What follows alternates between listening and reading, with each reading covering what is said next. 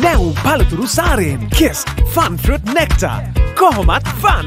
විපක්ෂ නායකවරයා අද අවධාරණය කළේ ඇමතිකම් ලබා ගැනීමේ කිසිදු සූදානමක් නොමැති බවයි. අපි කිසිසේත්ම මොනමාකාරකින්වත් රටේ ජනතාව බිල්ලට තියලා. දේශපාලන සූදුවල නිරත වෙන්න නෑ. කොටින්ම කිව්වොත් ඇමති සංගීත පුටු තරඟයකට කිසිසේත්ම සහභාගි වන්නේ නෑ.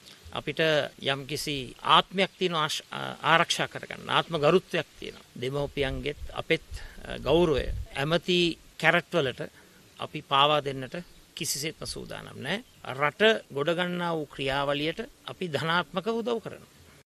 ඇත්ත කෙටියෙන් දත්ත වැඩියෙන් සයිබ අවකාශය කළඹන වුවත් සලකුණ. නිවස් ෆර්ස්ට් YouTube චැනලය අදම සබස්ක්‍රයිබ් කරන්න. නිවස් ෆර්ස්ට් ජනතාව සමඟ